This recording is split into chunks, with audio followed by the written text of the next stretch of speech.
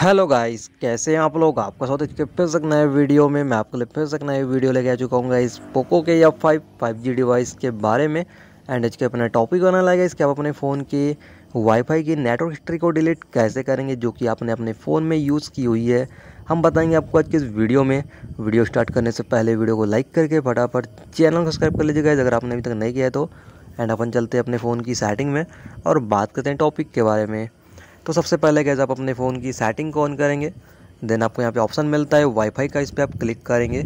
तो आपको यहाँ पे नीचे में देखिएगा एडिशनल सेटिंग का ऑप्शन मिल जाता है। इस पर आप क्लिक करेंगे तो आपको यहाँ पे मैंने सेव नेटवर्क ऑप्शन पे क्लिक करना है।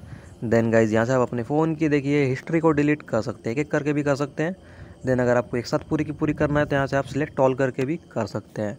तो यहाँ पे आपको दो ऑप्शन मिलते हैं गाइज़ डिलीट करने के। देन आपको यहाँ पे काफ़ी सारे ऑप्शन मिलते हैं। अगर आप अपने फ़ोन के नेटवर्क को गाइज़ जो है कितने K B P S M B P S की स्पीड पकड़ रहा है चेक करना चाहते हैं तो ऐसा आप कर सकते हैं।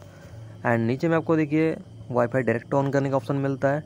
देन आप आपसे आप अपने फ़ोन के स्कैनर का ऑप्शन ऑन यानी कि ऑन कर सकते हैं वाईफाई वाले। तो इस प्रकार से आपको यहाँ पे जो है काफ़ी सारे ऑप्शन मिल जाते हैं।